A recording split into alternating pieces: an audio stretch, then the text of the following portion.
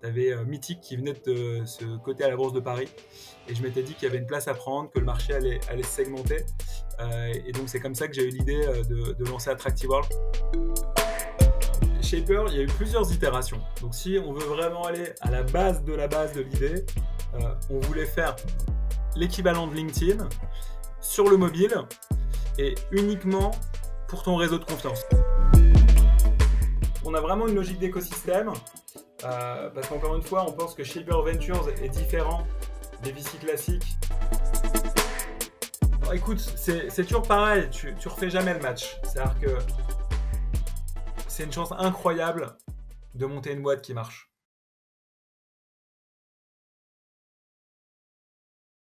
Bienvenue dans ce nouvel épisode. Aujourd'hui, je suis avec un super guest, euh, Ludovic Euro. Euh, salut Ludovic. Salut Guy, merci pour l'invitation. Pour donner un peu de contexte, Ludo euh, a trois ans d'expérience en private equity et euh, il a fondé Attractive World, un site de rencontre pour euh, célibataires exigeants qui a été revendu au, groupe allemand Spark Network, qui est là à son tour coté à la bourse de New York, si je ne me trompe pas, Ludovic. C'est exactement ça. Donc, Ludo, il y a suffisamment de contenu sur Internet qui parle de cette aventure avec Attractive World. Euh, on reviendra bien sûr rapidement dessus pendant notre échange.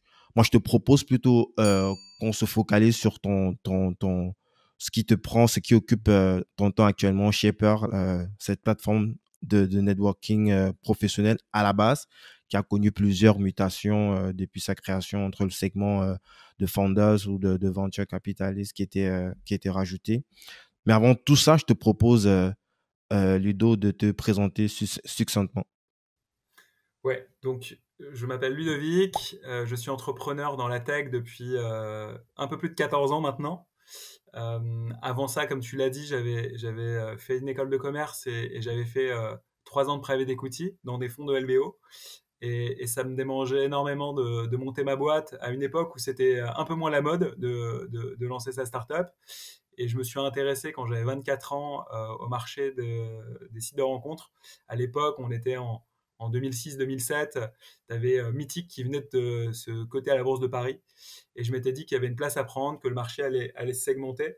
Euh, et donc, c'est comme ça que j'ai eu l'idée euh, de, lancer Attractive World qu'on a positionné sur, sur le segment des, célibataires exigeants, donc un segment un peu plus premium que, que Mythic. et c'est une aventure qui a duré 9 ans. comme tu l'as dit aussi, on l'a revendu à un groupe qui est coté à la bourse de New York qui s'appelle Spark Network en 2016. Et euh, depuis, euh, je développe Shaper, qui à la base est une plateforme de matchmaking professionnel euh, qu'on a lancée aux États-Unis depuis début 2016, fin 2015, début 2016. Et cette plateforme a évolué puisqu'elle a eu un, un vrai succès d'audience. Elle est passée de 0 à 2,5 millions d'utilisateurs euh, en, quelques années, euh, mais qu'on a eu quelques petites galères pour, euh, pour la monétiser. et du coup, effectivement, on l'a fait évoluer vers, vers un, écosystème à destination des, entrepreneurs de la tech, avec des services B2B à côté de, de, la plateforme B2C, que sont Shaper Talent, Shaper Founders et Shaper Ventures. Et, et je pourrais y revenir un peu plus tard si, si, tu le souhaites. Voilà, et à côté de ça, euh, je suis aussi business euh, angels dans, dans, un certain nombre de, de, startups euh, en France et, aux États-Unis. et à titre personnel, je suis passionné par le sport, j'adore le développement personnel aussi. et, j'ai une femme et, un, et, un, petit garçon qui a 15 ans. Ça fait beaucoup, on va, on va revenir sur, sur tout ça. Ludo, on va faire très attention aux anglicismes et euh, aux termes euh, techniques que nous utiliserons pendant, pendant euh, l'épisode. Donc, il faudra qu'on explique, qu'on essaie de définir des fois. N'hésite pas à me reprendre si besoin. Donc, est-ce que tu peux, de prime abord, hmm, nous pitcher l'idée de, de Shaper? Lorsque tu lances, lorsque tu lances en fin 2015, début 2016 C'est quoi Shaper? C'est quoi l'idée en fait de Shaper? Alors, Shaper, il y a eu plusieurs itérations. Donc, si on veut vraiment aller à la base de la base de l'idée, euh, on voulait faire l'équivalent de LinkedIn sur le mobile et uniquement pour ton réseau de confiance. Voilà, on partait du principe que, sur LinkedIn, tu as des centaines, voire des milliers, des dizaines de milliers de contacts euh, et qu'il y avait du sens à te dire, bah, en fait, les gens que je connais vraiment professionnellement, il n'y en a pas plus que 150. Donc, je ne vais ajouter que ces 150 personnes dans mon, dans mon réseau professionnel. Et Shaper va me connecter au réseau de confiance de mon réseau de confiance pour faciliter des intros. Donc ça, c'était la base. On s'est planté très vite. Euh, notamment LinkedIn nous a coupé leur, euh, ses, API pour pouvoir euh, s'inscrire, importer son réseau et, lancer des invitations. Et du pourquoi coup, très Parce qu'ils vous voient comme un concurrent direct ou pourquoi est-ce que... Ouais, ouais, alors je pense que ça ne touchait pas que nous. ça, ça rentrait dans une politique plus globale de, de, gestion de la donnée LinkedIn. Et ça, pour être précis, c'était plutôt début 2015. Donc ce, ce shaper-là, je l'ai presque oublié parce qu'en fait, il, est retombé, il est retombé tout de mmh suite. Euh, ensuite, on a fait évoluer la plateforme qu'on a relancée fin 2015 euh, vers euh, une plateforme de matchmaking professionnel où là, on s'est inspiré des interfaces de sites de, de rencontres beaucoup de journalistes nous ont dit qu'on était devenu le, Tinder du networking parce qu'effectivement, tu as un système de, swipe où tu vas swiper des, profils et si les deux profils se swipent à droite, tu vas matcher et tu vas pouvoir démarrer la conversation. Et donc, la grande différence entre notre produit qui existe toujours, hein, qui est toujours live, qui s'appelle Shaper Networking euh, et LinkedIn, c'est que tous les gens qui sont sur euh, Shaper Networking sont dans un vrai état d'esprit de rencontre euh, souvent beaucoup moins transactionnel que LinkedIn. C'est des gens qui veulent s'ouvrir l'esprit, s'inspirer, rencontrer des gens qu'ils n'auraient peut-être jamais rencontrés dans, dans, dans, leur vie professionnelle actuelle. Euh, et euh, l'application est pensée pour, pour rendre ce type de connexion hyper simple et hyper pratique. Voilà. Donc, on a lancé ce, ce, ce service-là. On a eu un vrai succès d'audience, puisqu'on est passé de 0 à 2,5 millions d'utilisateurs en quelques années, avec un gros focus sur les États-Unis. 60% euh, de nos utilisateurs sont, euh, euh, sont aux États-Unis.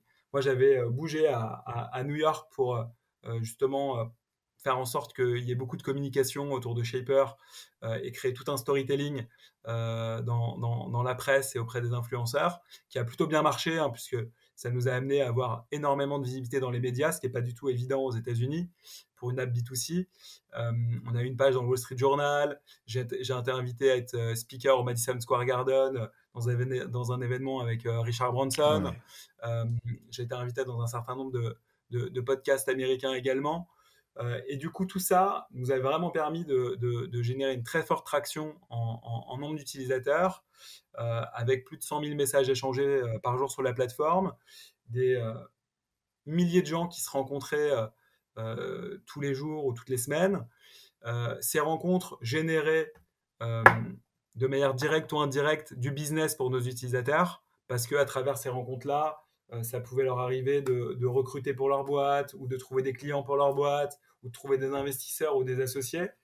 Et, le problème, c'est qu'en fait, on n'arrivait pas à capter la valeur parce que l'usage de Shaper Networking était B2C. Les gens l'utilisaient pour, pour s'inspirer professionnellement et networker.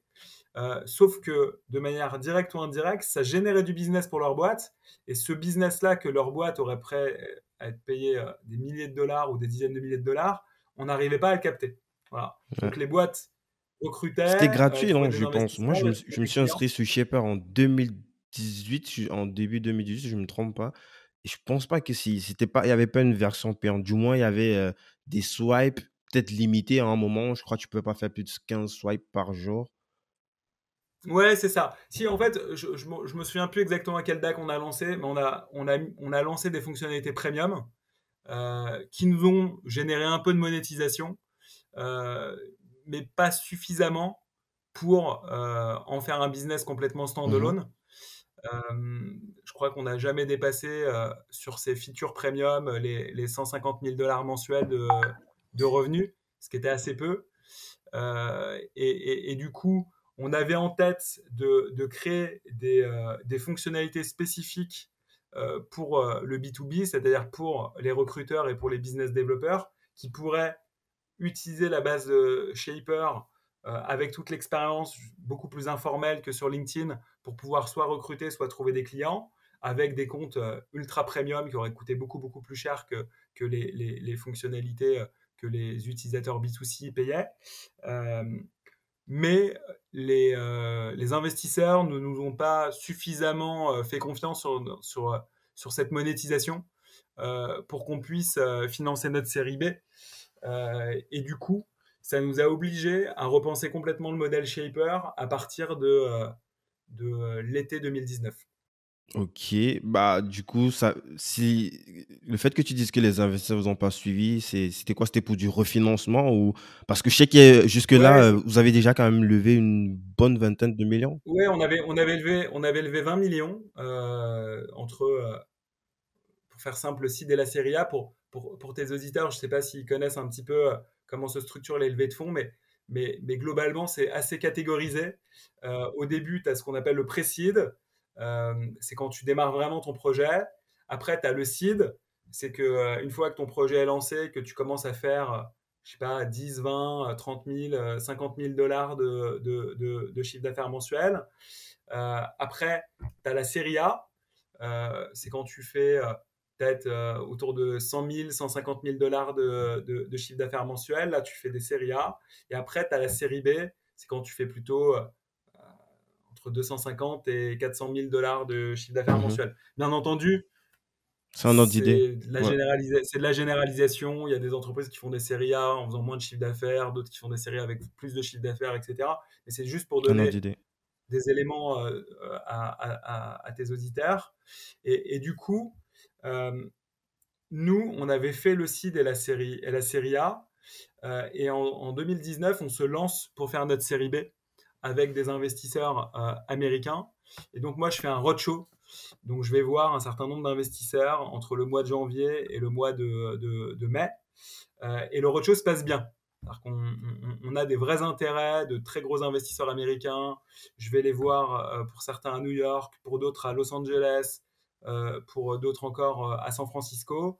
On fait même un deuxième aller-retour à San Francisco avec des, des, des VC qui voulaient nous, euh, nous revoir. Et à la fin de tout ce roadshow qui est assez épuisant, hein, puisque c'est beaucoup de voyages, euh, beaucoup de pitch que tu fais. Du temps que tu n'accordes pas à ton euh, business aussi. Parce que... Et du temps que tu n'accordes pas forcément à ton business. Et ben au final, on pensait que le deal allait se, se, closer et il ne s'est pas closé. Du coup, les investisseurs qui étaient intéressés ont, finalement décidé de ne pas faire d'offre. Ah, vous n'êtes pas arrivé jusqu'à la terme Il n'y a pas une term sheet qui était signée. Voilà, il n'y a pas eu de term sheet qui ont été signés, ou plus exactement, il y a eu des, gens qui, étaient prêts à être des followers. C'est des gens qui, disent si tu trouves un investisseur lead qui fixe la term sheet avec les principales conditions, moi je suis prêt à suivre, mais si tu n'en trouves pas, je ne suis plus. Et donc on avait des gens qui étaient prêts à suivre. Sous condition. Mais les, leaders qui euh, analysaient assez euh, en détail le business de Shaper, au final ont décidé de ne pas euh, faire d'offres, pas faire pas faire de term sheet. Et, du coup, ça a remis en cause toute la série, la série B.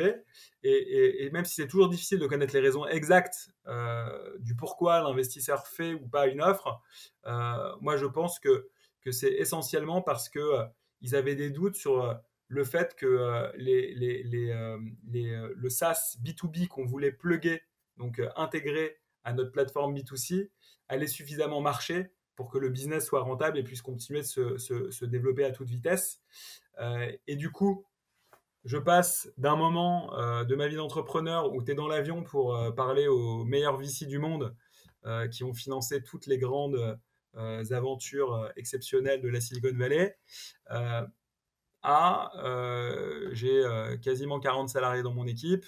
Et, et, si je trouve pas une solution euh, dans les deux mois qui suivent, euh, ma boîte, elle ah il y avait plus de il y avait plus de, de, de, trésor. Il n'y avait plus de cash. Donc tout ça, euh, voilà, on, a compris peut-être fin mai, début juin, je, te dis ça de mémoire, mais c'est à peu près ça les dates, que finalement le deal de la série B n'allait pas se faire. Et on avait du cash à la base jusqu'à fin juin. Et on a géré avec les URSAF, avec un certain nombre de, de, fournisseurs pour pouvoir avoir du cash jusqu'à fin juillet. Et du coup, mes, mes, actionnaires m'ont dit, bah, écoute, euh, Ludovic, euh, euh, nous, on, continue de croire dans Shaper parce que tu as quand même créé avec tes associés une super belle marque. Là, tu, là, tu parles de tes, les premiers investisseurs qui t'ont fait confiance déjà investi. au début. Voilà, qui m'ont fait confiance.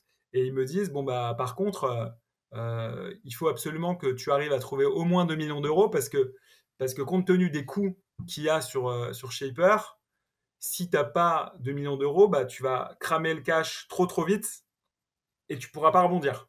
Et ils avaient complètement raison. Et du coup, on se dit, bah, c'est simple, soit fin juillet, on a trouvé les 2 millions d'euros et on continue, soit euh, on ne les a pas trouvés, on dépose le bilan. Donc ça veut dire on ferme l'entreprise. Et donc on perd tout notre investissement, hein, sachant que moi aussi j'avais investi euh, de manière assez significative. Enfin voilà, il y avait quand même pas mal d'enjeux de, financiers. Euh, et les actionnaires nous ont suivis.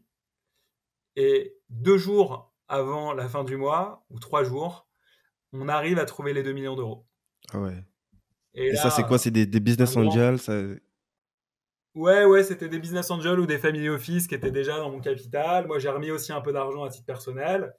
Euh, euh, et, donc, on arrive à lever ces 2 millions d'euros. Donc, je, je, je, pars en vacances début août. J'étais mais épuisé moralement, euh, un peu démoralisé aussi parce que bah, ça supposait de revoir complètement la stratégie de l'entreprise. Hein. Je veux dire, avec 2 millions, tu fais pas la même chose qu'avec 20 ou 25 millions, ce qui était à peu près ce qu'on voulait lever sur, sur notre série B. Et donc, on rentre en septembre en se disant sur quoi peut-on capitaliser? Euh, bah, C'est simple, on peut capitaliser sur euh, notre marque, puisqu'il y a au moins 2,5 millions de personnes qui connaissent notre marque, c'est-à-dire nos utilisateurs, et sur notre communauté. Et dans notre communauté, il y a une grande partie des gens qui travaillent dans la tech, et notamment il y a beaucoup d'entrepreneurs qui utilisent Shaper pour networker parce qu'ils démarrent leur business et qui cherchent soit un cofondateur, soit leur premier client, soit leur premier salarié, soit des advisors, soit euh, des investisseurs. Et du coup, on se dit, bah, en fait, on va se focaliser sur ces gens-là. En plus, c'est des gens qu'on connaît bien, puisque nous-mêmes, on est entrepreneurs dans la tech depuis, euh, depuis, depuis quelques temps. Et on va répondre à leurs quatre grands besoins, qui sont que ils veulent trouver des talents, ils veulent trouver des advisors. Donc les advisors, c'est des mentors. Ils veulent trouver des investisseurs et ils veulent trouver des clients potentiels. Et donc on a décidé de développer des services B2B en fonction de chacun de ces besoins. Et on s'est dit, bah, le service qui va pouvoir générer le plus de cash flow, ça va être le recrutement de talents, puisqu'on sait que les startups payent déjà des services de recrutement pour, euh, pour trouver des talents. On sait bien que trouver des talents, c'est l'énorme clé pour euh, faire en sorte que tu deviennes un entrepreneur. C'est même un gros business aujourd'hui. Là, il y a plein de, de, boîtes qui se lancent, notamment euh, aussi. C'est un très gros marché. Et du coup, on s'est euh, lancé sur, le, sur, sur ce segment pour démarrer. On a testé différents produits les premiers n'ont pas marché et on a trouvé un produit qui a, qui a, extrêmement bien fonctionné, qu'on a appelé Shaper Talent, et qui est une plateforme qui met en relation d'un côté de la place de marché des talents qui cherchent un job en startup et de l'autre côté de la place de marché des startups qui recrutent. Et ces talents, on a décidé de les cibler pour se différencier d'autres entreprises et on a décidé de cibler au début que des sales, donc des profils commerciaux qu'on allait présélectionner avec tout un process où on a des talent managers qui vont screener leur LinkedIn, qui vont ensuite faire des calls de 45 minutes avec eux, qui vont sélectionner ceux qu'ils estiment euh, être euh, les meilleurs. On en sélectionne entre 5 et 10% Et ensuite, on a des rédacteurs qui rédigent des portraits journalistiques de, ces talents qu'on a sélectionnés pour sortir du côté CV les rendre encore un peu plus, mettre des éléments encore un peu plus humains euh, que uniquement du pro. Et ces portraits-là, on les met sur notre plateforme. Mais pour y accéder, les, les, les, les, entreprises doivent payer. Ce n'est pas, euh, c'est pas les, talents qui cherchent. Alors, pour y accéder, c'est gratuit. Les startups peuvent s'inscrire gratuitement sur, sur, sur Shaper Talent, sauf que si elles recrutent, elles nous payent 12% du package brut du candidat. Et donc la monétisation, c'est ça. Tu vas recruter quelqu'un qui a un package brut de 50 000 euros. C'est en one shot ou pendant euh, si la personne elle va bosser? En one, shot. ok. En one shot. À chaque fois qu'il y a des recrutements. Et donc on a commencé avec les, les, sales et on a vu que ça a cartonné. Pour donner une idée, on a lancé ce business en janvier 2020. Deux ans plus tard, on a euh, 1200 startups qui sont, euh, Ah ouais. qui sont inscrites sur, euh, sur la plateforme, sachant qu'on a ouvert qu'une ville qui est Paris. Et on a décidé ensuite, en voyant que ça marchait et qu'il y avait de plus en plus de recrutement et donc que le business commençait à être euh, rentable, on a décidé d'ouvrir d'autres catégories de jobs, mais toujours avec un focus sur des profils non tech, puisqu'il y a déjà des, des- des plateformes qui sont concentrées sur les Mhm. profils tech. Et donc, on a ensuite ouvert tous les profils marketing, donc euh, des growth managers, euh, des SEO managers, des content managers, euh, des euh, euh, traffic managers, etc., etc. Et depuis quelques jours, on a ouvert aussi tout le segment RH. Ah. on vient présenter sur la plateforme notamment des talent acquisition managers qui sont des postes hyper importants pour, pour les startups lorsqu'elles vont commencer à accélérer leur, leur recrutement. Et ensuite, on a pour objectif d'ouvrir tous les apps et tous les profils dans la finance. Et une fois qu'on aura fait tout ça, derrière, on s'élargira géographiquement, euh, sachant qu'aujourd'hui, on a déjà plus d'un recrutement par, euh, par jour sur la plateforme. Donc ça commence à, vraiment euh, bien accélérer. Là, tu as parlé de 60% euh, de l'audience qui est américaine et vous avez lancé en premier Paris. C'est quoi? C'est des jobs complètement en remote Ils prennent des gens de partout? Non, non, nos clients sont aussi des startups françaises pour l'instant. Euh, c'est juste que euh, on- lancer des- un business aux US coûte beaucoup plus d'argent que le lancer euh, Mhm. en France. Et donc, on a préféré commencer avec la France pour valider ce qu'on appelle le product market fit, donc valider que le, le- le produit fonctionnait. Euh, et, et une fois qu'il fonctionne, on- potentiellement, on peut l'élargir géographiquement. Donc, pour l'instant, on, on continue de développer, développer la Mhm. France. Et ensuite, on, on- on- on réfléchira à l'étendre. Donc ça, c'est le premier service B2B qu'on a, qu'on a Ouais. lancé. Et donc, il y a eu un succès euh, très, très rapide. Après, on a lancé un deuxième service B2B qui s'appelle Shaper Founders et qui est un service de mise en relation entre des startups qui sont en pré-seed, donc qui démarrent, qui n'ont pas encore levé des fonds, avec une communauté d'advisors qui sont eux-mêmes des entrepreneurs de la tech, mais qui ont déjà levé au moins une série B ou plus. Donc on, a, on fait quelques exceptions en fonction des... des, des- Et là, on parle de à peu près euh, 15, 20 millions, un peu plus. Alors, on a 350 advisors.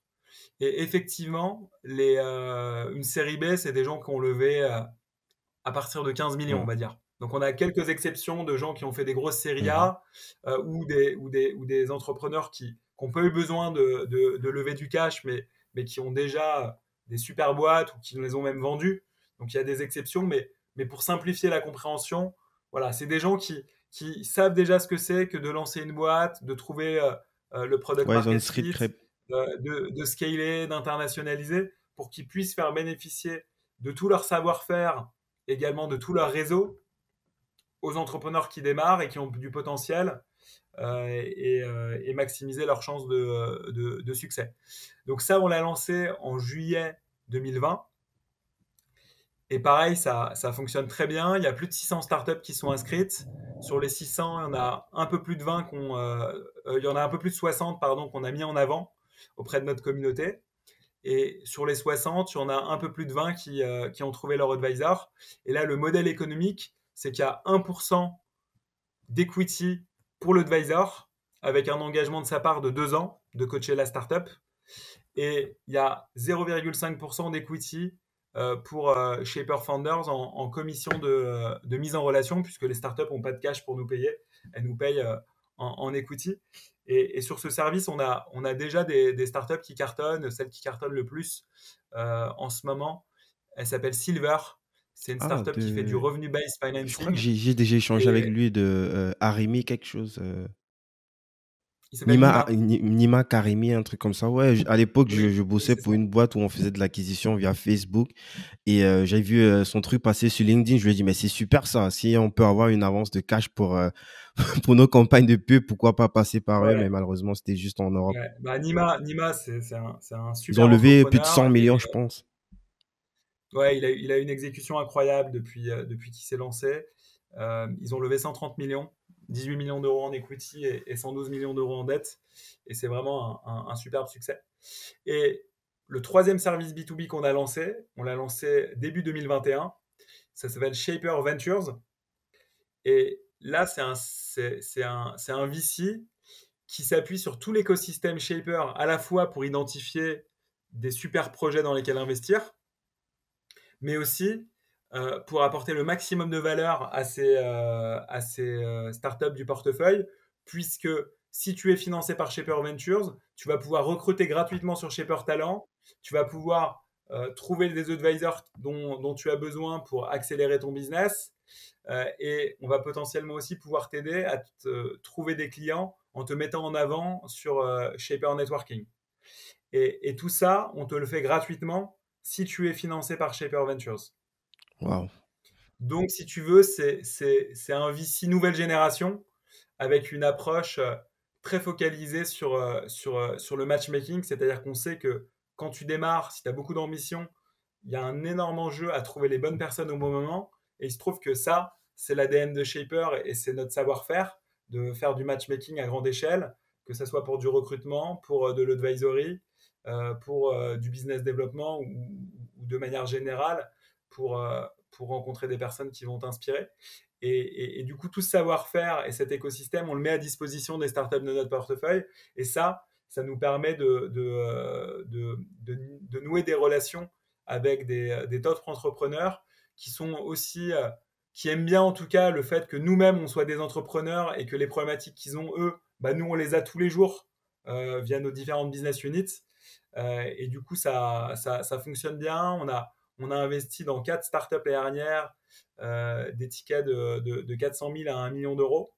Euh, euh, et, là, on est, on, est, on est parti, je pense, cette année pour faire 4 à 6 investissements supplémentaires. On ne veut pas en faire non plus trop parce que on veut avoir le temps nécessaire pour, pour, pour créer la relation avec les fondateurs dans lesquels on croit et, les aider au maximum. du coup, est-ce que là, tu parles de ces quatre services ou alors euh, c'est un peu plus compliqué pour euh, eux? Non, non, c'est ça, c'est ça. Pour résumer, mais est-ce que Shaper Venture, par exemple, est-ce que euh, comment est-ce que ça se passe pour lever? Est-ce que c'est y a des limites ça fonctionne comme un fonds classique? Il y a des limited partners à l'intérieur. Comment comment est-ce que ça se passe? C'est limité comme les fonds classiques sur 7 ans? Comment? Alors en fait on fait des en fait on fait des SPV euh, avec un de nos partenaires euh, et, on a une communauté de 750 investisseurs. et une fois qu'on a on, fait en fait toute la gestion du deal flow donc on reçoit des opportunités d'investissement. On a une équipe de de quatre personnes qui, vont analyser les opérations. Souvent, on fait l'analyse avec des, euh, des, advisors de la communauté Shaper Founders qui sont des experts du domaine pour, pour qu'ils nous éclairent sur, sur le secteur d'activité qu'on analyse. Ensuite, euh, on euh, va négocier une term sheet avec, avec les fondateurs, enfin le fondateur, la fondatrice, les fondateurs, en fonction. et une fois qu'on est d'accord sur les, les, termes, on a une exclusivité au moins sur la moitié du tour, voire sur 100% du tour, ça dépend, mais généralement on est lead des, opérations. Mhm. Et on propose cette opportunité à notre communauté d'investisseurs qui ont euh, deux semaines pour, euh, pour, euh, pour se décider. ce qu'on a constaté jusqu'à présent, c'est que toutes les opérations ont été souscrites assez vite. Les investisseurs investissent dans le SPV et le SPV investit dans la startup. Et ensuite, c'est Shaper Ventures qui représente le SPV euh, au, sein des, euh, au sein des startups. Euh, Est-ce que tu peux expliquer c'est quoi le, SPV C'est ça qui permet de faire des levées en continu sans pour autant avoir un... non, le SPV, c'est Special Purpose Vehicle. C'est une société qui va recueillir les fonds d'investisseurs mmh et qui ensuite va investir dans la startup. C'est ce qui fait qu'au lieu d'avoir 30 business angels dans ton capital, tu ne vas avoir qu'un investisseur qui est le SPV qui est géré par, par Shaper Ventures. Ah d'accord, ok, c'est plus, c'est plus clair. Mais Shaper Ventures, c'est pas euh, le fonds euh, classique qui va être limité, qui va avoir une durée de vie limitée. À chaque fois, il peut, chaque année, il peut avoir un nouveau, de, de, nouveaux tours de, table. Quoi. Il n'y a pas un budget qui est, qui est levé à la base et qui est injecté euh, pendant la durée de vie dans les différentes startups. Non, non, non, non. On peut le faire à chaque fois en sollicitant notre communauté d'investisseurs euh, euh, et, on crée un SPV pour, euh, pour, pour chaque nouvelle ligne du portefeuille. c'est assez impressionnant tout ça. Et en fait, là, tu as créé un écosystème où les gens ils sont fermés complètement dans, dans, dans, dans, dans, dans, dans cet univers en fonction du besoin bah, Effectivement, il y a beaucoup de ce qu'on appelle, désolé pour les termes en, anglais, mais de cross-selling, c'est-à-dire qu'il y a beaucoup de synergie, euh, puisque euh, tu as des gens qui network sur Shaper Networking et qui, à un moment, ont besoin de recruter et vont sur Shaper Talent, puis ont besoin de lever des fonds, vont sur Shaper Ventures. Peut-être qu'auparavant, ils avaient besoin d'un advisor, sont passés sur, sur Shaper Founders. et donc, du coup, il y a vraiment des passerelles entre entre chacun des services euh, autour d'une marque euh, qui euh, est de plus en plus forte dans le monde des startups qui est Shaper. Ok. Je voudrais qu'on revienne un petit peu sur Shaper Founders. C'est vrai que tu as la possibilité de, trouver un advisor, mais ça pourrait potentiellement être ton associé, quelqu'un qui va s'impliquer un peu plus que des séances de, de, de, de, un ou deux coaching bimensuels. Non, non, non, c'est pas, c'est, pas la même chose parce que souvent, ces advisors, ils ont aussi leur propre business.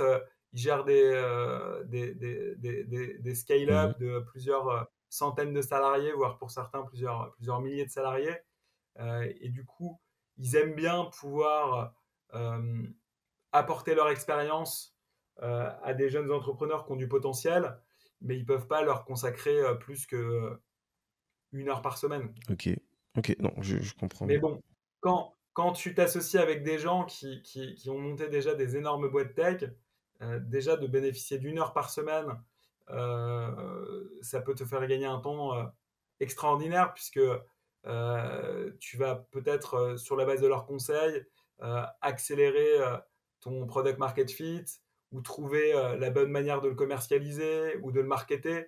Donc, donc tu, tu, en tout cas, les gens qui passent par Shaper Founder sont ravis et nous disent que les advisors leur ont fait gagner 3 euh, mois, 6 mois, parfois un an dans le développement de leur boîte. Quoi. On a même, il y a même une fondatrice qui nous a dit que si elle n'avait pas trouvé euh, l'advisor Shaper Founders, euh, sa boîte aurait fermé parce qu'il lui a donné un conseil qu'elle a respecté et qui, avec le recul, lui a permis de, sauver la vie de sa boîte. pour revenir sur la partie Shaper Founders, comment est-ce que euh, est-ce que c'est un club privé, les, justement, les, les, plus de 700 investisseurs qui peuvent euh, justement mettre un ticket sur chaque tour? Sur Shaper Ventures? Sur Shaper Ventures, oui. Euh, en fait, on est, on est ouvert à accueillir des nouveaux investisseurs, mais on veut d'abord échanger avec eux. donc, donc il n'y a, a, pas d'inscription, si tu mmh, veux, mmh. pour, pour, pour aller sur, sur Shaper Ventures. donc, les gens doivent nous contacter.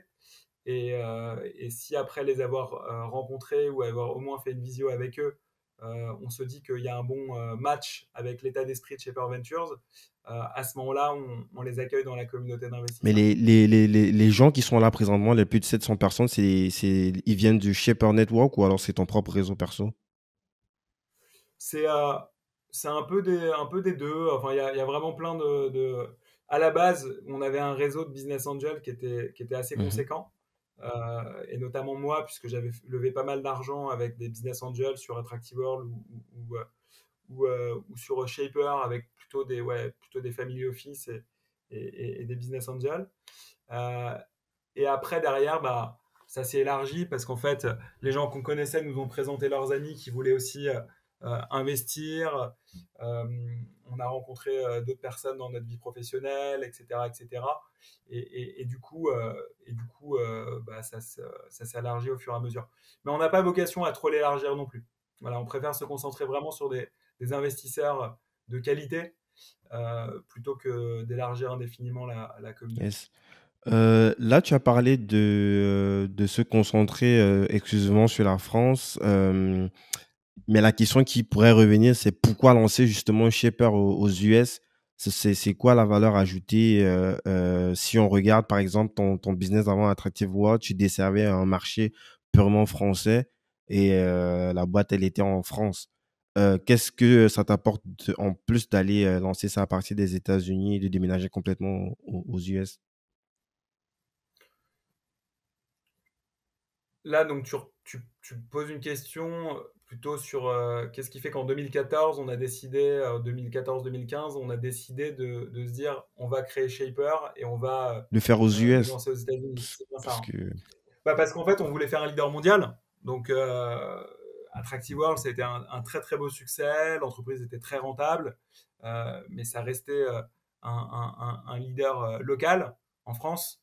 Et, et, on s'est rendu compte que à quel point il y avait euh, un énorme écart à la fin en termes de taille d'entreprise entre euh, les business, euh, notamment B2C, qui s'étaient lancés aux US en premier et les business qui s'étaient lancés en France. Donc, nous, on a eu la chance sur Attractive World que le marché français était suffisamment gros pour que, ça devienne, que ça devienne rentable et que ça distribue des dividendes, hein, puisque sur Attractive World, à la fin, on distribuait entre 2014 et 2016, on a distribué entre 1 million et 1,5 million de dividendes. Ah ouais.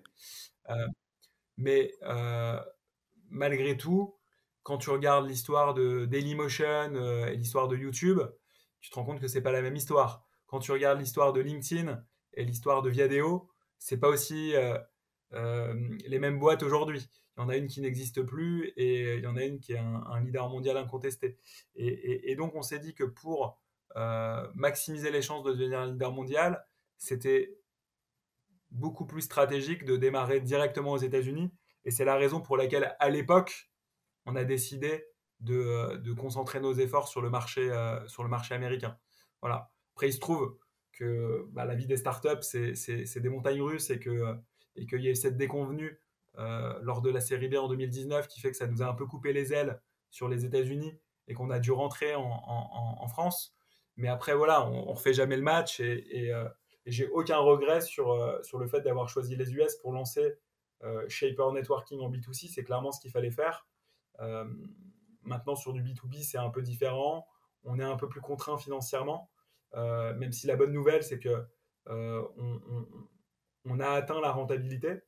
donc, donc le, le, pivot est, en train de fonctionner. Maintenant, il y a encore encore des challenges et il faut encore se battre pour, euh, pour continuer que ça, ça, ça, se développe. Mais, mais maintenant, les, les, fondamentaux financiers sont, sont, euh, sont, sains. Euh, on est pas loin de l'équilibre chaque mois, voire certains mois. on, est, on est profitable.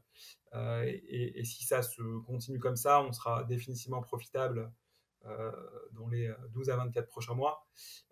et, du coup, et, du coup, c'est une autre aventure en fait. Bah, du coup, pour c'est quoi en fait la suite pour pour Shaper? Là la partie Shaper Venture, je pense que ça va commencer à prendre de plus en plus de, place. Vous allez, vous, allez rentrer, vous allez sortir de, de, de dans, les prochaines années de certaines boîtes, mais rentrer aussi dans d'autres.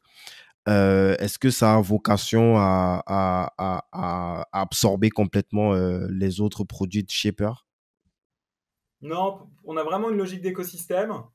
Euh, parce qu'encore une fois, on pense que Shaper Ventures est différent des VC classiques parce que il a d'autres services autour qui apportent de la valeur ajoutée aux entrepreneurs, et notamment Shaper Talent, Shaper Founders et Shaper Networking. Et également, parce que euh, le modèle économique en fait fonctionne sur, euh, sur, euh, sur deux pieds. le premier, c'est Shaper Talent qui génère du cash flow et qui nous permet de, de, de, ne pas perdre d'argent ou en étant en fonction des mois, hein, puisqu'encore une fois, chaque mois est différent, mais nous permet soit d'être rentable, soit break-even, soit pas loin du break-even. Et je pense que si Shaper Talent continue sa croissance très forte, même si on, on investit dedans pour pour, euh, pour accélérer cette croissance. Euh, je pense que dès qu'on aura tapé une, taille critique encore euh, plus importante, on sera, on sera extrêmement rentable. et cette rentabilité finance les coûts de Shaper Founders et Shaper Ventures, qui eux génèrent très peu de cash, mais génèrent de, de la valeur en equity via les participations qu'on prend. Et le jour où ces participations sont vendues si Shaper Talent continue de se développer comme on, comme on, l'espère, euh, bah, du coup, Shaper Talent aura déjà au minimum absorbé les frais, voire même déjà fait du bénéfice sur l'intégralité du groupe. Et, donc, la cession des, des, euh, des, participations Shaper Founders et Shaper Ventures générera de la marge pure 100%. Pour, pour, pour, pour, pour Shaper. Et ce cash-là, pourra être soit réinvesti dans le développement de Shaper Talent, soit nous permettre de faire de la croissance externe sur d'autres services complémentaires euh, dans notre écosystème, soit être distribué euh, en, en, dividendes euh, à nos actionnaires. Yes, on a de, suivre tout ça. donc, tu, as, bien défini les quatre services pour les gens qui pourraient éventuellement être intéressés. si on revient à la base sur la partie Shaper Networking, c'est quelque chose qui existe toujours. Je crois que tu l'as précisé. Il y a toujours moyen d'aller un minima. Ouais, ouais, ouais pour, être, entre, pour être honnête, franchement, je pensais que ça allait s'écrouler parce que ça fait quasiment trois ans, ça fera trois ans à l'été 2022 qu'on n'aura pas mis un dollar en marketing dans euh, Shaper Networking et qu'aujourd'hui, on est qu'en mode maintenance, c'est-à-dire qu'on développe une nouvelle fonctionnalité, on, maintient juste la, plateforme existante, mais qui est déjà très complète. Euh, et euh, on a encore autour de 250 000 à 300 000 matchs par, par mois euh, sans avoir investi dedans. Et, franchement, c'est une très très belle surprise. Et du coup, Shaper Networking génère aussi euh, du bénéfice, hein, puisqu'on a, on a beaucoup moins de coûts et qu'il y a encore du, du, chiffre mhm. d'affaires. Euh, donc du coup, on, gagne de l'argent sur, sur ce service-là. Et surtout, bah, avec 250 000 à 300 000 matchs par mois, on a vraiment encore beaucoup d'usages, beaucoup d'utilisateurs qui se rencontrent, qui network, que ce soit aux États-Unis, en Angleterre ou en France, qui contribuent aussi à, l'image de marque de, euh, Shaper autour de, la rencontre, de l'inspiration, euh, de ce qu'on appelle la serendipity, qui, euh, qui, si tu devais le traduire en français, serait l'art de provoquer la chance sans la rechercher. et on pense que, que, que, Shaper Networking est un super outil pour ça, puisque ça te permet de rencontrer des gens que tu n'aurais jamais rencontrés dans ta vie, qui peuvent avoir un impact hyper positif euh, que ce soit dans ta carrière ou, ta vie perso. Euh, et du coup, euh, on, a vraiment à cœur de, de, garder, de garder Shaper Networking. Alors, bien entendu, si le trafic s'écroulait et qu'on perdait de l'argent, on se poserait peut-être la question de, l'arrêter. Mais tant qu'il il y a autant de, trafic et d'engagement de la part de nos utilisateurs, on a tendance à vouloir faire en sorte que ça dure le plus longtemps possible. Mais aujourd'hui, avec les, autres, par exemple, Shaper euh, euh, euh Talent, euh, est-ce qu'il y a des. Comment est-ce est que, est que le trafic vient exclusivement de Shaper Network ou alors il y a un gros travail d'acquisition sur les réseaux? C'est une très bonne question, mais la, la... tous les services qu'on a lancés, donc les quatre services qu'on a lancés, sont indépendants des uns des autres. Sauf que, bien entendu, on utilise des moyens marketing pour euh, faire connaître, euh, par exemple, à, un utilisateur de Shaper Talent qui euh, s'est inscrit parce qu'il recrute son équipe de sales ou son, son, équipe marketing ou son équipe de talent acquisition manager. bien entendu que qu'on va lui expliquer lorsque notre account manager va faire un, un, un, call, ce qu'on appelle un call mhm. d'onboarding, on va euh, lui expliquer que euh, Shaper, c'est pas que Shaper Talent, il y a aussi Shaper Founders, il y a aussi Shaper Ventures et il y a aussi Shaper Networking pour l'inciter à utiliser nos autres services. Euh, et en ce moment, on a entre 50 et 70 nouvelles startups qui s'inscrivent chaque mois à Paris sur Shaper Talent. Et du coup, bah, ces 50 à 70 nouvelles startups font un call d'onboarding et découvrent, si elles ne les connaissent pas déjà, les autres services de Shaper. Sur Shaper Founders, bah, euh, la personne qui va sélectionner les meilleurs euh, projets à présenter à notre communauté d'advisors, bah, à chaque fois qu'elle va faire des calls avec les fondateurs, elle va lui expliquer qu'il y a aussi Shaper Ventures, Shaper Talent et Shaper Networking. Quand tu t'inscris sur Shaper Networking, tu vas recevoir un mail qui va te dire que si euh, tu es, intéressé, es entrepreneur de la tech et que tu es intéressé pour recruter, bah, tu pourrais utiliser Shaper Talent. Donc voilà. C'est hyper vertueux. des moyens marketing pour faire en sorte qu'il euh, que, qu'il y ait le maximum de synergie entre nos C'est vraiment, c'est vraiment hyper vertueux tout ça. Euh, j'imagine que ça avec euh, du, du, du, paid, un peu de référencement naturel et, et, du Facebook et de l'Instagram Ads. On fait quasiment pas de pub. Ah ouais? Ouais, ouais, tout ça. Purement organique. On le fait. on a, ouais, organique, on a des méthodes de, ce qu'on appelle du growth marketing, qui, qui, sont des méthodes pour générer aussi de la, notoriété et, et, du trafic, mais, mais on fait euh, vraiment très, très, très, très peu de publicité. Excellent. Bah, je te propose qu'on revienne un petit peu sur euh, Attractive World, si on a encore un peu de temps. Euh, mais avant, je voulais qu'on parle d'un bouquin. C'est un bouquin, je ne sais plus exactement où je t'ai entendu parler de ça et je l'ai acheté de suite. C'était en 2018, ça fait longtemps quand même. Euh, c'est le, le, bouquin de Pierre Verminant, le, bouquin de 1000 pages là. Ah oui, oui, oui. Je l'ai acheté de suite hein, quand, je, quand je t'avais écouté en interview parce qu'à l'époque, je m'intéressais à la finance c'est vraiment une petite anecdote, mais, mais effectivement, quand, quand, quand j'étais un peu plus jeune euh, et que j'étais au, lycée, j'aimais vraiment pas du tout l'école. C'était pour moi insupportable d'aller en, cours de, physique, de sciences ou de maths. Et j'avais fait l'erreur de faire un bac S alors que je pense que j'aurais été beaucoup plus à l'aise euh, sur un bac ES. Euh, et, du coup, du coup, j'aimais vraiment, vraiment pas ça. j'ai réussi à avoir mon bac mais vraiment, euh, je pense que euh, trois semaines avant le, bac, j'ai un, de mes potes qui était, qui était aussi mauvais que moi à l'école qui sonne à ma porte et qui me dit Viens, on va prouver à tous nos profs euh, qui nous prennent pour des nazes qu'on est capable d'avoir le bac sans être, avoir été très assidu à l'école. Et du coup, on a bachoté comme des malades. On a réussi à avoir notre bac. Et moi, en parallèle, j'avais fait des, des, concours pour une école qui s'appelle l'IPAC, qui est une, école, de une école qui ne demande pas de, de, prépa. Euh, c'est une école qui te permet euh, d'avoir directement, directement euh, accès à, à, tes cours sans faire deux ans de prépa.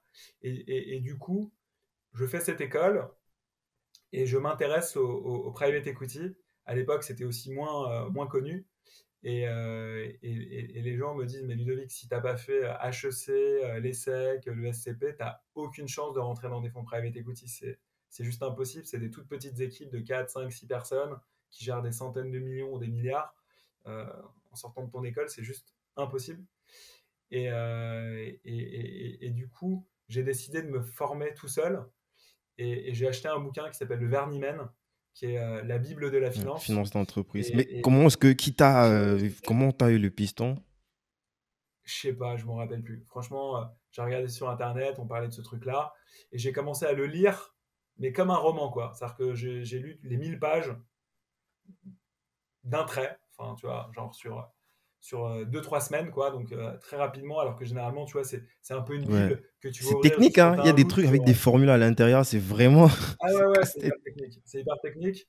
Et, et, du coup à chaque fois qu'il y avait quelque chose soit que je comprenais pas soit des, des euh, voilà tu vois soit soit des idées d'optimisation ou de reformulation etc j'écrivais à l'auteur qui était le, un des profs de, du master finance d'entreprise d'HEC qui s'appelle Pascal Kiri. Et, euh, et, du coup, euh, et du coup, à un moment, euh, il a été intrigué, il m'a invité à, déjeuner. Et, et, on a fait le déjeuner ensemble et il m'a proposé de, rejoindre le, le département fusion-acquisition de, de, la BNP. C'est incroyable ça. Et donc j'ai fait, les, j'ai fait les, les, les, espèces de tests, ça s'est bien passé. Et là, je discute avec la RH et elle me dit bah, Vous avez fait parmi les meilleurs tests de tout le, badge de candidat pour, pour nos stages euh, en fusion-acquisition. Euh, mais par contre, parce que vous avez fait l'IPAG et que vous n'avez pas fait HEC, bah, sachez que vous allez être payé 300 euros par mois, je crois à l'époque c'était ça, alors que ceux d'HEC sont payés 1000. Et j'ai vraiment vécu ça comme une injustice, mais hallucinante, en me disant que bah, si j'avais d'aussi bons résultats, il n'y avait pas de raison que je sois payé beaucoup moins cher. et, tout ça a probablement changé. Hein. Je te parle de quelque chose qui, qui date de 2000. 2003-2004. Hein.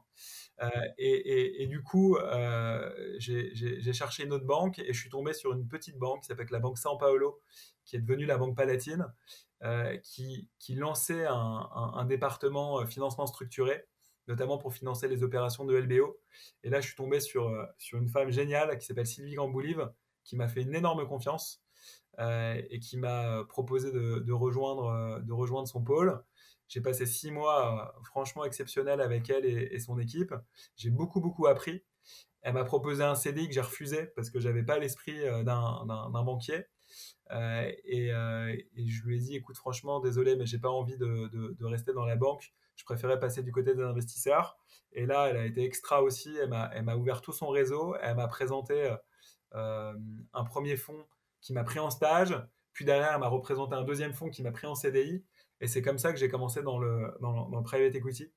et du coup, le bouquin euh, Le Vernimen m'a vraiment beaucoup aidé pour me mettre le pied à l'étrier. On, on, va mettre le lien dans la description de l'épisode. C'est un bouquin de plus de 1000 pages, hyper technique. Moi, si je l'ai commencé, mais je ne l'ai pas terminé. Franchement, sincèrement, je ne le recommande pas. Vraiment? Voilà.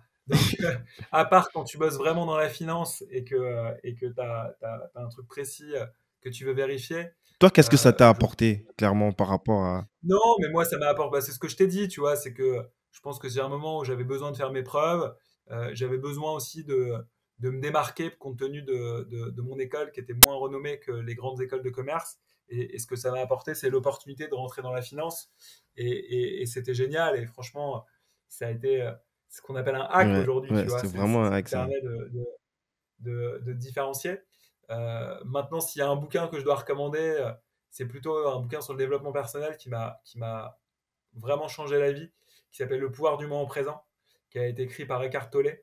Euh, et, là aussi, pareil, c'est lié à une anecdote de, quand j'étais plus jeune, hein, où, je manquais beaucoup de confiance en moi. Euh, J'avais beaucoup d'émotions euh, en moi que je ne savais pas gérer. Du coup, ça, ça crée une, forme d'introversion, de, timidité, euh, de peur de parler en public, etc. Et, et j'ai lu ce bouquin et, ça a énormément changé de choses, puisqu'en fait, c'est un bouquin qui t'apprend à rester dans le présent, à ne pas t'angoisser sur le, sur, sur le futur, euh, à observer euh, tes émotions, à observer tes pensées pour, pour euh, toujours vraiment rester dans, dans, dans, le présent. Et, et si j'avais un, un, conseil de lecture pour les gens qui écoutent ce podcast, ça serait plutôt ce livre que, que le vernis on, on, va noter, on va mettre les, les, les, deux liens quand même pour les plus téméraires. Le pouvoir du moment présent, des cartes. Yes. Power of Now pour ceux qui veulent l'acheter en anglais. D'accord. Ludovic, est-ce que tu peux rapidement nous, nous, briefer un petit peu sur Attractive World? Comment est-ce que tu as eu l'idée et aussi peut-être dans les dans les grands moments de cette aventure, ce qui s'est passé pour, pour le, peu de temps qu'on a encore?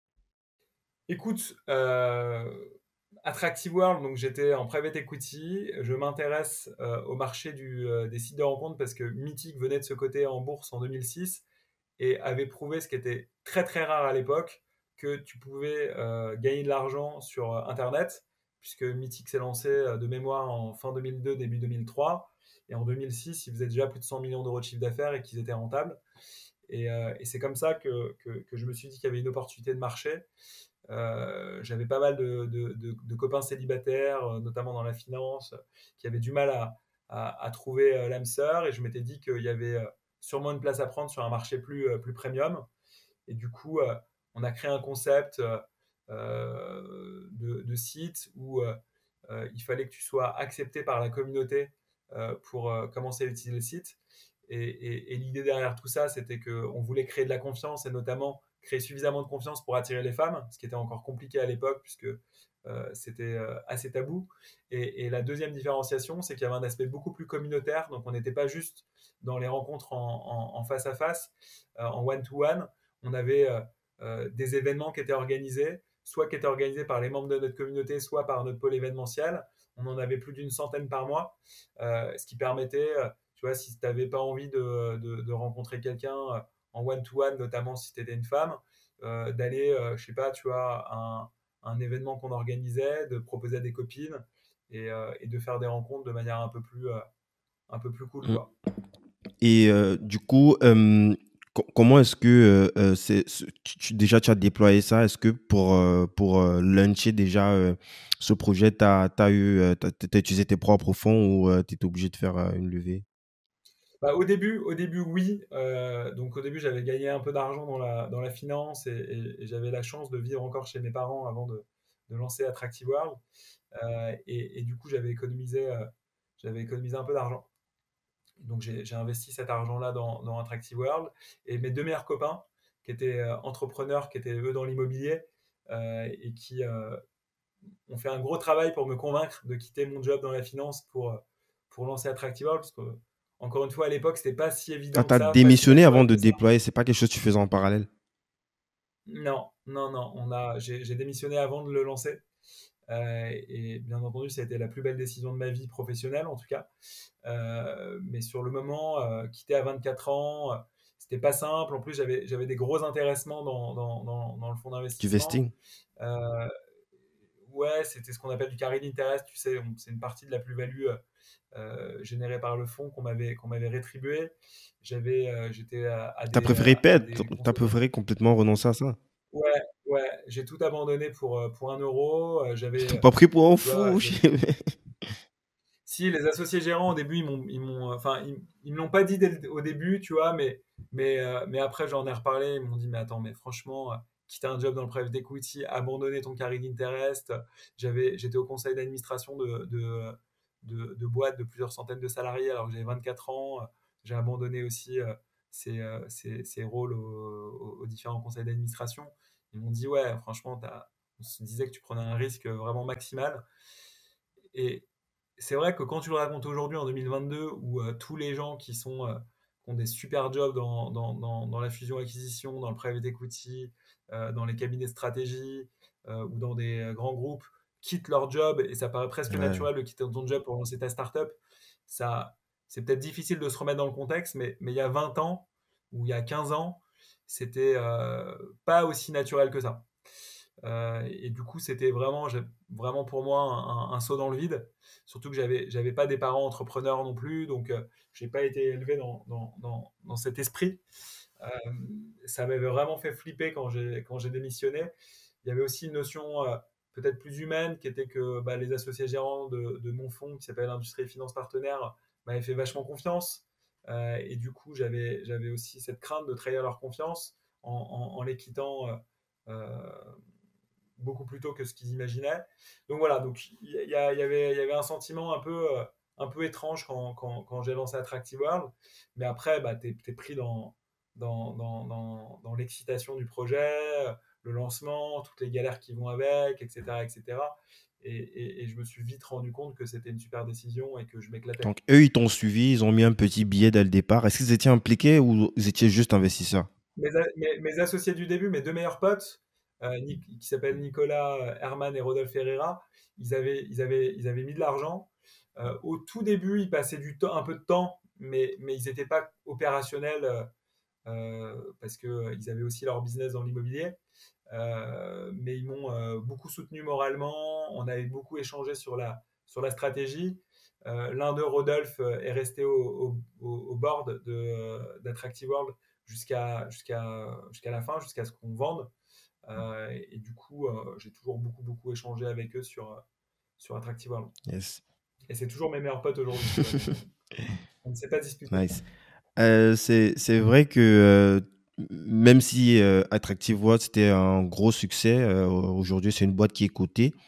Euh, tu sembles, en tout cas, lorsqu'on t'écoute, on a, l'impression que tu n'es pas si satisfait que ça de ce que tu as pu faire avec, en tout cas en tant que gérant peut-être d'Attractive World, tu n'es pas... Non, écoute, c'est toujours pareil, tu, tu refais jamais le match. C'est-à-dire que c'est une chance incroyable de monter une boîte qui marche.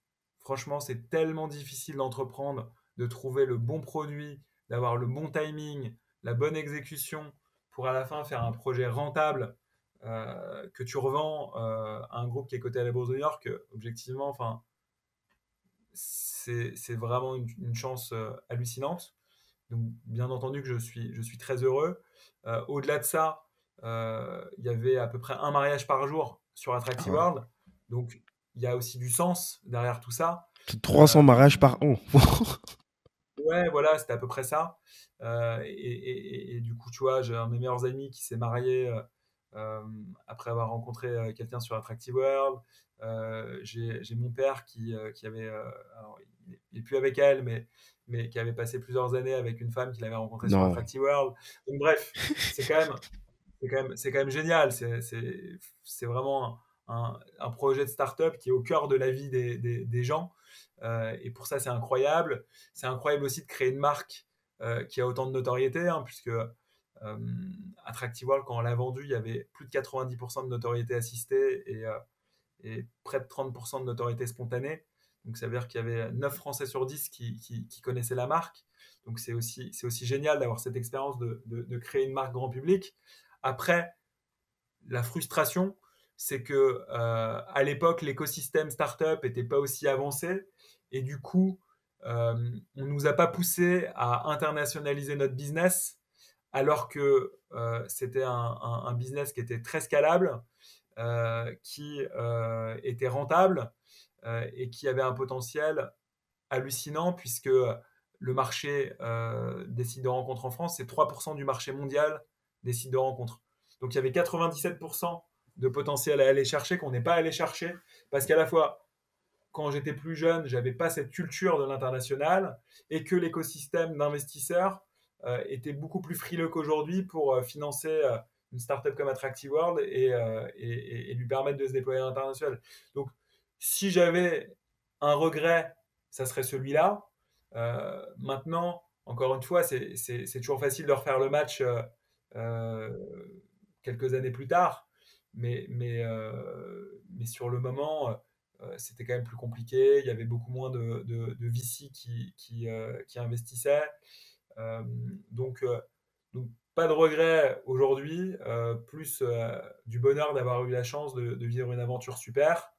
Euh, euh, et, et, des apprentissages, donc des leçons tirées sur, euh, sur le sujet de l'international. Yes. Ludovic, comment est-ce que tu comment est-ce que tu progresses aujourd'hui? Écoute, moi, je, moi, enfin, je, t'avais pas précisé, mais c'est vrai que le fil rouge étant les rencontres, je, je continue d'adorer de, de, rencontrer des gens et, et d'apprendre à travers ces rencontres. Donc, je pense que peut-être que mon, euh, ma manière numéro un d'apprendre, c'est à travers des discussions que je peux avoir euh, et des rencontres dans ma vie professionnelle comme dans ma vie personnelle. Euh, après, j'aime bien lire. Maintenant, j'ai un peu moins de temps depuis que j'ai un enfant, mais, mais j'aime beaucoup, lire. et, j'utilise aussi la lecture pour, apprendre je pense que c'est euh, mes deux manières les plus, euh, les plus euh, efficaces pour moi d'apprendre. J'écoute aussi des podcasts. J'essaye d'en écouter au moins deux ou trois par semaine. Voilà, quand je fais du sport, quand je marche, quand je suis dans la salle de bain. donc c'est quoi des podcasts américains? Tu as, des trucs à nous citer? Ouais, ouais, j'ai des trucs à te citer. Alors franchement, j'ai fait beaucoup, beaucoup de, de, de podcasts français. Donc euh, le, le, premier, c'est celui de, Mathieu Stéphanie. GDY. Euh, Génération Do It Yourself. Euh, j'aime bien un podcast qui s'appelle La Combinaison. Ouais, de. Comment il s'appelle? Or, de Papéo. Je sais qu'il a une entreprise qui s'appelle Papéo, j'ai oublié comment. Ouais, alors attends, si tu, si tu me laisses 5 secondes, je pourrais te, te, te retrouver ça. c'est Frédéric Ah, Azoulay, Frédéric Azoulay, ouais. Voilà. Euh, un podcast qui s'appelle euh, Trajectoire aussi, euh, que, que, j'aime écouter. Il y a un nouveau podcast d'ailleurs dans lequel j'ai été, j'ai été invité, que je trouve extrêmement bien produit et réalisé. C'est un podcast qui s'appelle Cash Out. Ouais, Cash Out. Je sais pas si tu. Ouais, ouais, j'ai, vu ça. Il y, a, y, a, y a plein de. de, de... C'est un truc où il, y a plein de, d'entrepreneurs de la tech française qui interviennent, en tout cas qui ont déjà eu à vendre des boîtes euh, qui viennent un peu faire une sorte de retour d'expérience dessus. Exactement. Et après ça, c'est euh, ils, le font euh, en musique. Voilà, donc tu, tu vas sélectionner des, des, musiques qui vont correspondre à, à, certains moods de, de, ta vie. J'ai oublié comment elle s'appelle, ouais, mais je, je, vois, je vois ça. Voilà. Après, sur les, les, euh, les podcasts, euh, les podcasts US, euh, j'aime bien écouter celui de Tim Ferriss. Ah, le Tim Ferriss Show, ouais. Donc voilà, et on a un autre sur les neurosciences, mais j'ai oublié son nom, que, que j'aime écouter, mais je te, je, te, le redirai parce que là j'ai oublié, son nom. Yes. Je, tenais à confirmer pour la partie des rencontres que c'est quelque chose que j'ai pu constater par moi-même. Euh, on se connaît pas directement. Euh, je t'ai écrit un message sur LinkedIn par rapport au podcast. Tu m'as répondu de suite et c'est comme ça que ça s'est fait. Donc, euh, je te remercie encore pour ça et, et euh, c'est quelque chose que que je note et que euh, je compte aussi m'approprier pour mon propre cas, à connecter plus avec les gens parce que il y, a, y, a, vraiment de belles, de belles choses qu'on peut potentiellement en tirer. Quoi. Je peux pas te dire l'inverse, je suis 100% d'accord avec yes. toi. Euh, c'est quoi ta plus grande fierté? C'est une très bonne question. Euh... Je pense que ma plus grande fierté, c'est d'avoir dépassé euh, un certain nombre de mes peurs. Voilà, au-delà de, de, de, mon fils, hein, qui, est, qui, est, une immense fierté. Tu avais peur d'avoir un enfant? Euh... Comment? Non, non, non, non, j'ai dit, dit au-delà ah, de, au-delà de, de, ah, comme fierté au-delà de ton. De ton ok. Une très grande fierté, mais je pense que tous les papas du monde sont, sont, sont, sont fiers de leurs enfants. Euh, c'est, c'est ouais, de, de, tu vois, j'ai quand j'étais plus jeune, ce que je disais tout à l'heure, j'avais vraiment beaucoup de peur en moi, voilà, peur de parler en public, peur de, d'entreprendre, euh, peur de passer mon permis de conduire, plein de, plein de peurs en moi.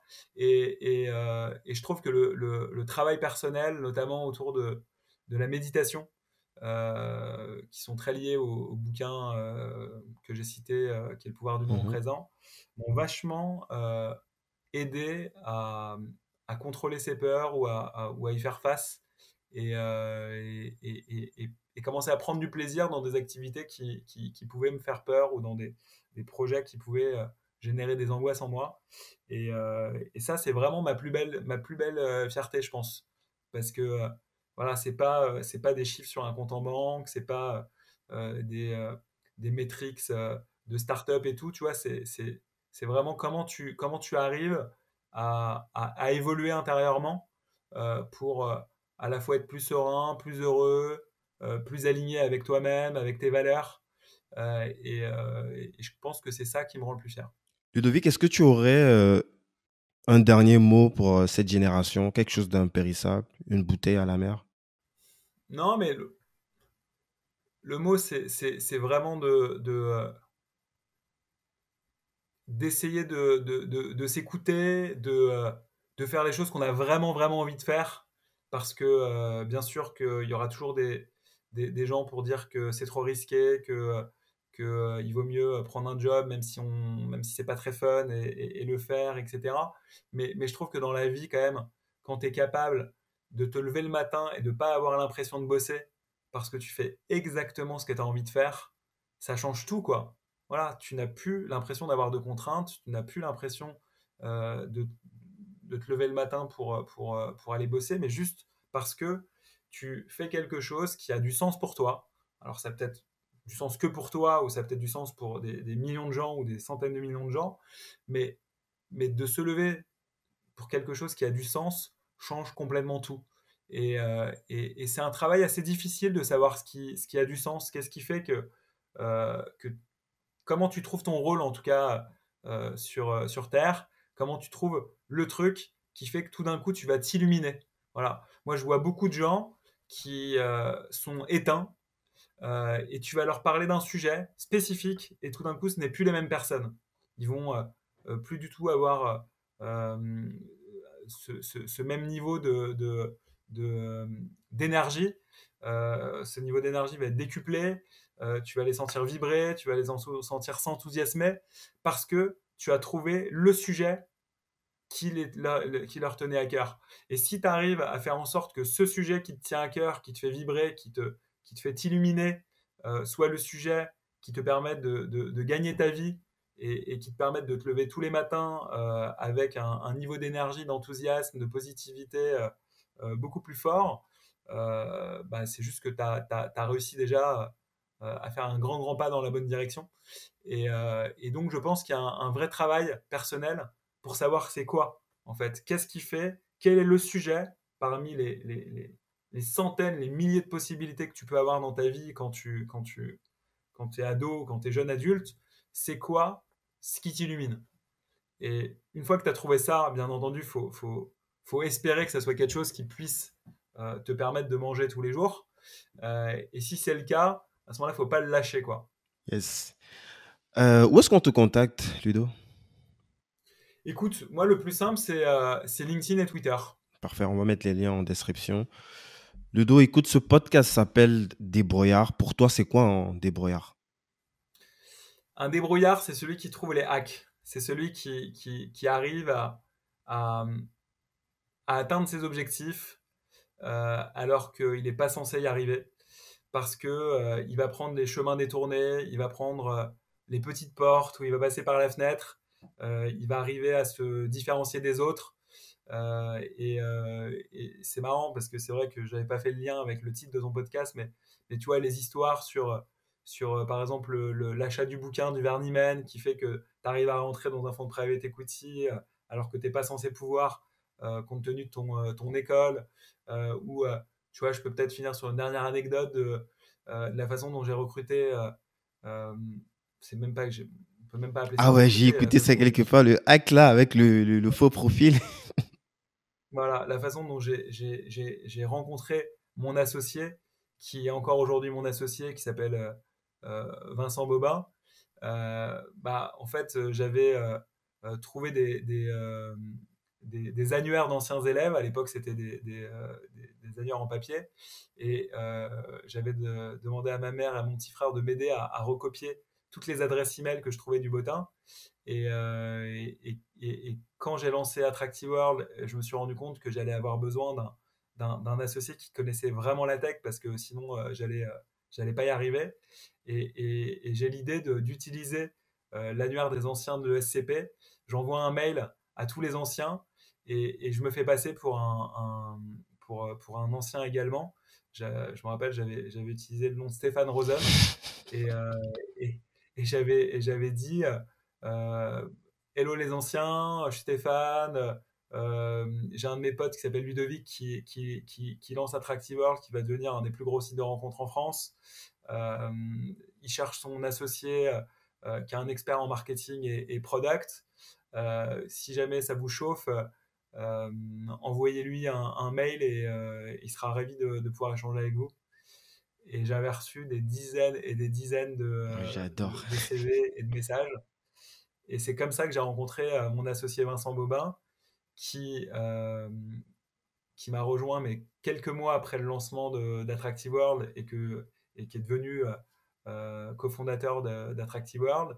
Et ensuite, bah, on a vécu bah, toute notre toute l'aventure entrepreneuriale jusqu'à encore aujourd'hui c'est toujours mon associé sur Shaper. Je trouve ça c'est c'est c'est de la vraie c'est de la vraie démerde ça c'est. Exactement. Nice. Écoute euh, Ludo, je te remercie encore. Euh, merci pour euh, ton temps, ta transparence aussi et, et ces, jolis partages. on a hâte de suivre ce que ça va devenir au niveau de, de Shaper, les, les, quatre segments que tu as expliqués et puis pourquoi pas euh, se, se, faire un follow-up d'ici quelques années encore pour, euh, pour, euh, pour en parler. Bien sûr, j'espère que j'aurai plein plein de bonnes choses à travers. Nice. À très vite. À bientôt. Merci encore.